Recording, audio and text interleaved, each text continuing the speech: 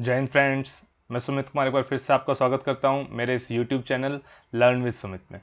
तो यार, जैसे कि आप जानते हैं कि मैंने सीरीज़ चलाई हुई थी क्रैश कोर्स ऑन हिस्ट्री पे। हम इसमें डिस्कस करते करते, हमने कहाँ से स्टार्ट किया था? हमने कांग्रेस की स्थापना से लेके मतलब इनफैक्ट उसके पहले जो माहौल बना मतलब वो कौन से फैक्टर्स रहे जिसने फाइनली कांग्रेस की फॉर्मेशन करवाई, वहाँ से स्टार्ट करते हुए कांग्रेस की हमने स्थापना करवाई देन हमने मॉडरेट्स देखे देन हमने एक्सट्रीमिस्ट देखे देन हमने देखा कि यार कैसे एक होम रूल मूवमेंट की स्था, की स्टार्टिंग हुई थी एंड उस होम रूल मूवमेंट में क्या क्या निकल के आया ये सारी बातें हम देख चुके थे। आज इसी में आगे बढ़ते हुए this is part six of the series अब हम इसमें स्टार्ट करने जा रहे हैं गांधीयन एरा गांधी मतलब भाई बात वही है ना गांधी के रोल को लेके हमेशा ही लोगों में डिस्कशन होती रही है। भाई आपने आपने कभी ना कभी अपने पेरेंट्स के थ्रू या अपने टीचर्स के थ्रू गांधी के रोल के बारे में ज़रूर सुना होगा। बाकी और बहुत कुछ चीज़ें रही हैं फ्रीडम स्ट्रगल में बट गांधी का रोल मतलब कुछ एक अलग ही लेवल का है। हर कोई जानता है गांधी को। हमारे राष्ट्रपिता का दर्जा मिला हुआ है गांधी को। तो फाइनली मतलब मैं बताऊँगा आपको कि वो मतलब पूरा घटनाक्रम है क्या? कैसे गांधी जी एकदम से भारतीय स्वतंत्रता संग्राम के इतने बड़े नेता बन गए? सब कुछ उनके सामने झुकने लगा। मतलब सब कुछ मतलब सब कुछ। हर कोई उनके सामने झुकने लगा। एंड अल्टीमेटली उनके करे गए प्रयासों की मदद से भारत को आज़ादी मिल सकी। तो इसमें कोई दोहराई वाली बात नहीं है कि गांधी का रोल हमारे इंडिपेंडेंस मूवमेंट में सबसे बड़ा रहा है। मैं कहीं भी ये डिनाई नहीं कर रहा हूँ कि भगत सिंह का या सुभाष चंद्र बोस जी का या चंद्रशेखर आज़ाद जी का रोल नहीं रहा है। जी बिल्कुल रहा है। उनका रोल भी इक्वली रहा है। ठीक है, उन्होंने अपनी तरफ़ से सारी चीज़ें बेस्ट ही करी थी। बट अल्टीमेटली किसी एक बंदे को निकाल पाऊँगा पूरे पूरे फ्रीडम स्ट्रगल से, जिस जिस पे मैं कहूँ कि हाँ पूरा ये अपना इंडिपेंडेंस मूवमेंट टिका, वो मोहनदास करमचंद गांधी है। अगर आपको मेरे एफर्ट्स पसंद आ रहे हैं तो do subscribe to my YouTube channel learn with Sumit and also अगर आपको मेरी क्लासेस की पीडीएफ चाहिए तो यार आप जाके मुझे टेलीग्राम चैनल पे भी सर्च कर सकते हैं। वहाँ भी मैं लर्न विद सुमित के नाम से एग्जिस्ट करता हूँ। ठीक है, वहाँ आप जाओगे तो मेरी सारी क्लासेस की पीडीएफ वहाँ पे मिल जाएगी रेगुलर क्विजेज में ले रहा हूँ, वो मिल जाएगी, मेरी फ्री क्लासेस के लिंक मिल जाएँगी। मतलब टेलीग्राम चैनल एक लिटरली में आपकी हर प्रॉब्लम का सोल्यूशन है, ठीक है? तो सबसे पहले मैंने ये टर्म यूज़ क्यों करी है? गांधीयन एरा देखो, ये मैंने नहीं दिए, ये किताबों ने दी गांधीयन एरा भाई, जब से गांधी फ्रीडम स्ट्रगल मूवमेंट में शामिल हुए, उसके बाद पूरी की पूरी फ्रीडम स्ट्रगल गांधी के अराउंड ही घूमी है। सब कुछ उनके अराउंड हुआ। चाहे कोई बड़ी से बड़ी मूवमेंट हो, या फिर भगत सिंह जी का रोल हो, चाहे फिर सुभाष चंद्र बोस जी का रोल हो, हर किसी में गांधी कहीं ना कहीं लिंक्ड ज़रूर थे। So that is why it is Gandhian era because सब कुछ एक बंदे का अराउंड घूम रहा है। भाई तो हाँ हो गया गांधी गांधीन एरा 1917 से लेके लगभग 1944 तक, भाई रहा गांधी का ज़ोर। बिना उनकी परमिशन की चीज़ें नहीं हो रही थी। उनका तरीका भी कुछ निराला ही था, जो आज तक किसी ने कभी देखा ना था। ठीक है, इसका एग्ज़ाम्पल सबसे पहले हमें मिलता है साउथ अफ्रीका में। सबसे पहले तो गांधी जी साउथ अफ्रीका गए क्यों थे? तो जी गांधी जी का साउथ अफ्रीका जाना हुआ, वो अब्दुल्ला एंड कंपनी के लिए केस लड़ने गए थे। ठीक है, गांधी बहुत ही ज़्यादा इन्फ्लुएंस थे लियो टोल्स्टॉय से एडविन आर्नल्ड से।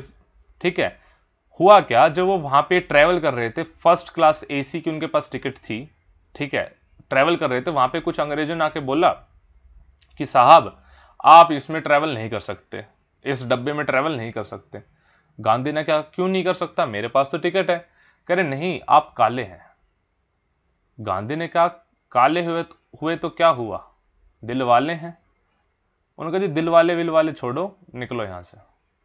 तो गांधी बड़े परेशान हो गए कि ऐसा क्यों? तो थोड़ी सी बहसबाजी हुई तो मतलब ऐसा ही बोला जाता है, थोड़ी सी मार पिटाई भी हुई वहाँ पे। एंड गांधी को ट्रेन से निकाल के फेंक दिया गया। सेंट पीटरबर्ग वो स्टेशन था जब गांधी को ट्रेन से निकाल के फेंका गया। जब पूरी एक रात ठंड में गांधी ने बिताई स्टेशन पे, तब उनको समझ में आया कि रेशियल डिस्क्रिमिनेशन जैसी कितनी बड़ी चीज़ एग्जिस्ट कर रही है। एंड जब मेरा जैसा पढ़े लिखा वकील ही इस चीज़ के सामने नहीं टिक पा रहा तो मेरे जो भारतीय निवासी हैं, उनके साथ क्या ही हो रहा होगा? कितने लेवल पे उनके साथ डिस्क्रिमिनेशन हो रहा होगा? बिकॉज़ गांधी ने ये चीज़ें कभी देखी नहीं थी यार। ठीक है, उनके लिए चीज़ें नहीं थी, लंदन में ऐसी चीज़ें नहीं हुआ करती थी।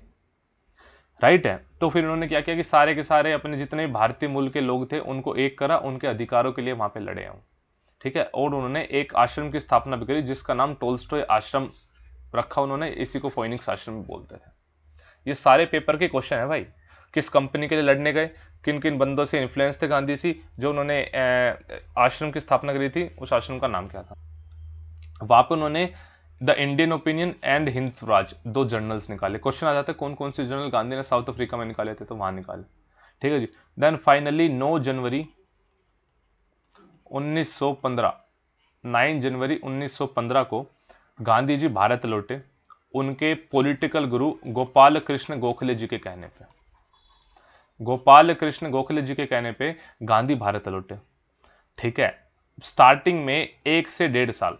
एक से डेढ़ साल गांधी जी ने कोई एज सच पॉलिटिकल एक्टिविटी नहीं करी। एक बनारस हिंदू यूनिवर्सिटी में लेक्चर ज़रूर था, वो ज़रूर दिया था। कुछ इतना बड़ा कुछ नहीं करा उन्होंने। इस एक से डेढ़ साल मतलब पॉलिटिकली वैसे तो बहुत बड़ा काम कर रहे थे। उन्होंने पूरे भारत का दौरा किया। वो देखना चाहते थे कि भाई जो हमारी पॉलिटिकल पार्टी एग्जिस्ट कर रही है, कांग्रेस, इतने पढ़े लिखे समझदार लोग हैं, फिर भी ये मतलब अनसक्सेसफुल कैसे है? तो गांधी जी ने फाइनली एक से डेढ़ साल दौरा किया एंड उनके बात समझ में आई कि देखो जो कांग्रेस अनसक्सेसफुल है, उसका सबसे बड़ा रीजन है कि जो कांग्रेस है, वो एक एलिट क्लास की पार्टी बनकर रह गई है।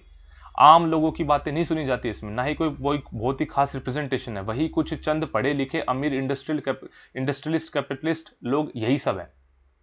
राइट है? तो इन सब बातों को सोच, समझ, सोचते समझते हुए उन्होंने सोचा कि भाई मैं बात करूँगा यहाँ पे जन कल्याण की, जो मतलब आम लोग हैं, उनकी प्रेजेंटेशन मैं करूँगा, किसानों की, मजदूरों की। सबसे पहले उन्होंने 1916 में साबरमती आश्रम की स्थापना करी। देन फाइनली 1917 में वो मौका आया जब गांधी जी ने अपनी पहली पॉलिटिकल कैंपेन करी। वो कब आया?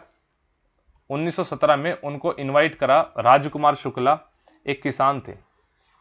एक किसान थे राजकुमार शुक्ला, चंपारण में। चंपारण कहाँ पर है? बिहार में। वहाँ पर उन्होंने इन्वाइट करा ने बोला कि, साहब, हमारे साथ ना बहुत गलत हो रहा है। गांधी ने कहा, जी, क्या गलत हो रहा है? उन्होंने कहा, साहब, हमें ना तिंथ काटिया सिस्टम फॉलो करना पड़ता है। तिंथ काटिया सिस्टम। गांधी ने कहा what is this tinkathia system? कह रही तिंथ काटिया सिस्टम का मतलब है कि अगर मेरे पास 20 एकड़ लैंड है ना तो उसमें से तीन एकड़, यानी तीन बाय बीस of three by twenty part of my land मुझे हमेशा नील की खेती करनी पड़ेगी या इंडिगो की खेती करनी पड़ेगी। एंड इस पे रेट भी जो अंग्रेज़ चाहेंगे, अपने मनमानी के देंगे। एंड सबसे बड़ी दिक्कत यह है कि जब मैंने इंडिगो की खेती कर ली तो मेरी ज़मीन भी उपजाऊ नहीं रहती है। उसकी फर्टिलिटी भी खत्म हो रही। तो जी, हम बड़ी परेशानी में हैं। आप आओ और थोड़ा सा मार्गदर्शन करो। गांधी जी वहाँ पर गए। गांधी जी ने वहाँ पे सबसे पहला अपना सिविल पहला, गांधी जी का पहला सिविल डिसोबीडियंस मूवमेंट वहाँ पे जाके गांधी जी ने कहा कि अब कोई टैक्स वैक्स नहीं देना, ये ये सब इंडिगो इंडिगो ना ही तुम खेती करोगे। सिविल डिसोबीडियंट कुछ नहीं करना जी हमें तो। वहाँ की जब डिस्ट्रिक्ट अथॉरिटीज ने नोटिस करा कि क्या हो रहा है तो उन्होंने पूछा, जी, क्या है? गांधी ने कहा सब मेरे पीछे बस आके बैठ जाओ, कुछ नहीं करना। बस तुम्हें करना यही है कि कुछ नहीं करना। ठीक है। जी, जब सब लोग बैठ गए सरकार का सारा काम धाम रुक गया, तब सरकार आई, बोलो, जी, क्या हो गया? क्या दिक्कत होगी? गांधी कह रहे, जी, तिंथ काटे, सिस्टम खत्म करो। कह रहा, अगर हमें खत्म कर देंगे तो आप काम पे आ जाओगे, सारे काम काम वाम करने लग जाओगे। गांधी ने कहा हाँ जी बंदे काम वाम सारे सारे मतलब सरकार दोबारा सुचारू रूप से चलने लग जाएगी। आप बस तिंथ काटे, सिस्टम खत्म करो। गांधी जी के कहने पे एक कमेटी बनी, जिस कमेटी के खुद गांधी मेंबर बने and finally tinkathia system को वहाँ से खत्म करा गया। गांधी की जीत हुई। गांधी को पहला मौका पहली बॉल पे गांधी ने सीधा सीधा सिक्सर मार दिया था जी। बात समझ में आ रहे हो? फिर उनको दूसरा मौका मिला 1917 में। 1917 में खेड़ा खेड़ा सत्याग्रह बोलते हैं। गांधी जी का पहला सत्याग्रह मूवमेंट खेड़ा सत्याग्रह गुजरात में। था क्या? वहाँ के जो किसान थे, उन, उनसे ज़्यादा टैक्स की वसूली करी जा रही थी। ठीक है टैक्स ज़्यादा लिया जा रहा था। एंड ये टाइम वो था जब भाई देश में सूखे की स्थिति थी। तो भाई सूखा है मतलब फ़सल हो नहीं रही, ऊपर से आपको टैक्स भी ज़्यादा दे दें। ठीक है, इस चीज़ के अगेंस्ट वो लोग मतलब बहुत परेशान थे। देन फाइनली उन्होंने गांधी को इन्वाइट करा कि साहब देखो, हमारी ये व्यथा है, कोई हमें कोई हमारी बात समझ नहीं रहा है। देखो, हमारे साथ क्या क्या हो रहा है। गांधी ने कोई दिक्कत नहीं, मैं करूँगा। आप मेरे पीछे खड़े रहो बस। आपको यही करना, सत्याग्रह करना है, कुछ नहीं करना बेसिकली पॉइंट ये, करना ही कुछ नहीं है। जी, नहीं देंगे, बात खत्म है। फाइनली डिस्ट्रिक्ट अथॉरिटीज को झुकना पड़ा एंड आए जी, बताओ जी, क्या दिक्कत है? कह रहा, जी, ये टैक्स वैक्स हमें ज़्यादा समझ में नहीं आ रहा। ठीक है, ये नहीं होना चाहिए। देन फाइनली फाइमाइन कमीशन बना एंड ये डिसाइड हुआ कि ठीक है ठीक है, उनसे ज़्यादा टैक्स नहीं लिया जाएगा। पब्लिक प्रेशर एकता एंड शांति के भाव से गांधी काम कर रहे थे, जिसका कोई तोड़ था नहीं सामने वाले बंदे के पास। बंदा दंगा फसाद करे तो किसी जोन में अंदर कर दे। बात समझ पा रहे हो आप? दो बोल, दो छक्के। 1918 में फाइनली एक और मोमेंट आया, अहमदाबाद मिल स्ट्राइक का। वहाँ पे क्या था, जो वहाँ के मिल वर्कर्स थे, वो चाह रहे थे, हमारे जो सैलरी है, उसमें 35 परसेंट का हाइक हो जाए।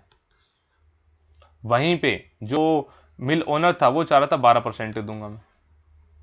ये बंदे का, इन बंदों ने बुलाया गांधी को। कह रहा, नहीं मार रहे मिल ओनर मैं बुलाता हूँ अपने हीरो को। गांधी को बुलाया, गांधी को सारी प्रॉब्लम समझाई कि देखो जी ऐसा ऐसा हो रहा है हमारे साथ ऐसी ऐसी बातें हो रही हैं तो आप थोड़ा कुछ करो, संभालो कुछ। गांधी भूख हड़ताल पे बैठ गए। अहमदाबाद मिल स्ट्राइकर्स की उसमें भूख हड़ताल पे बैठे और उनके पीछे बहुत सारे लोग बैठ गए।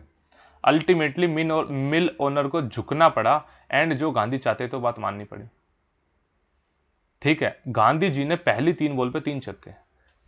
इन तीन मूवमेंट के बाद गांधी मजदूर वर्ग के मसीहा बन के निकले। भाई, अभी तक जिन बंदों की कोई सुन नहीं रहा था, जिनको कोई पूछता नहीं था, आज मतलब सीधा मतलब एक बंदा आया है, उसको प्रॉब्लम बताओ एंड अल्टीमेटली सीधा सीधा सोल्यूशन दे देगा वो। आज ऐसी बात होने लग गई तो भाई साहब टाइम वो आ गया था, गांधी जी के एक बात बोलने पे पूरा देश उनके पीछे चलने लग गया था। पूरा देश मतलब क्या, जितने भी ये मजदूर किसान वर्ग के लोग थे। बिकॉज़ पहली बार कोई बंदा आया था यार, जिसने मतलब सच में मतलब दुख हर लिए थे लिटरली दुख हर लिए थे।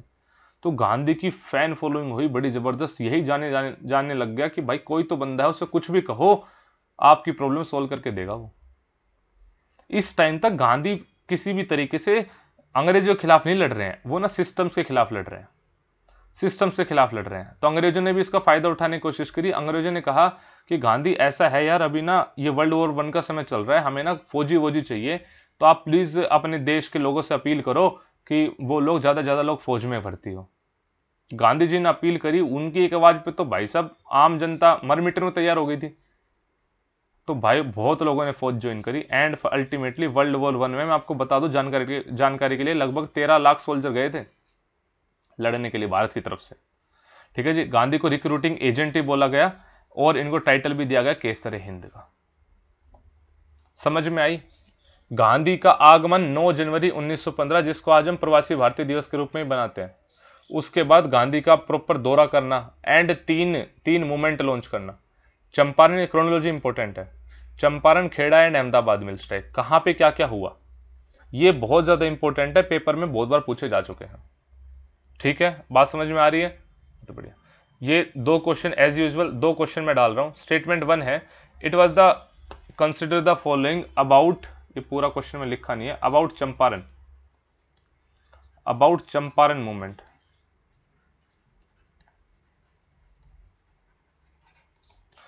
कहने स्टेटमेंट वन है it was the first India civil disobedience movement launch by Mahatma Gandhi Mahatma Gandhi द्वारा लॉन्च करी गई पहली सिविल डिसोबीडियंस मूवमेंट इंडिया में.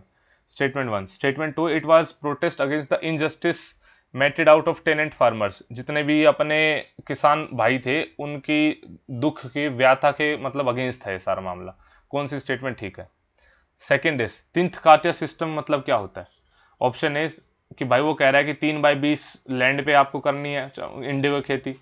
ऑप्शन बी कह रहा है tenant was bound by law to plant three out of every part of their land ये कह रहा है, एक एक बाई तिहाई, ये कह रहा है, दो बाई तिहाई three out of every every कत्था, ये कह रहा है, तीन बाई एवरी कत्था, चंपारण, ठीक है थ्री क्रॉप्स इन ठीक है, कुछ इन्हों कह रहा है कि तीन बार, तीन तीन क्रॉप उगानी पड़ेगी। तो इसमें से कौन सा स्टेटमेंट है, आपको ये बताना है, कौन सा स्टेटमेंट सही है? आपको ये मुझे आंसर कमेंट में बताना है, ठीक है? दोनों के दोनों क्वेश्चंस के आपको आंसर जो है कमेंट में बताने मुझे, ठीक है?